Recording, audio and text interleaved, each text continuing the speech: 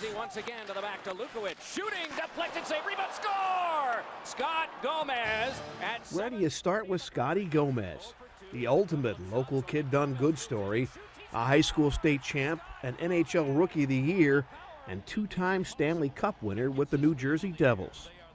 You know, other teams win in four, but we're the Devils, and we got to make it hard on ourselves. And to win in seven, it's uh, it's something definitely we'll never forget in our lives. But maybe the thing that makes Gomez so special is no matter what his success, he always has that desire to bring it home.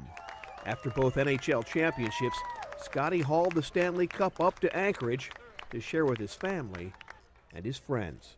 I just want it for the whole. Uh, I just want it for the whole town, and um, I just want everyone to enjoy it. And when a lockout killed the NHL season in 2004, Scotty brought his game home, signing on with the Alaska Aces, passing up big bucks to play in Russia, to play the game he loved in front of the people he loved. And through it all, he acted as if it were us doing him the favor. This is the only place I, I wanted to play, and how many guys get to come back and play pro hockey in their hometown? Of course, one day Gomez will hang up his skates.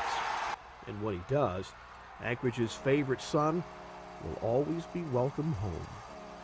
This is where I want to be, and um, you know, I figure one day if I run for mayor, it'll always look good that I came back to the Anchorage Uh, first of all, thank you very much. Uh, I'm glad to be here and representing Scott, take, uh, accepting this award.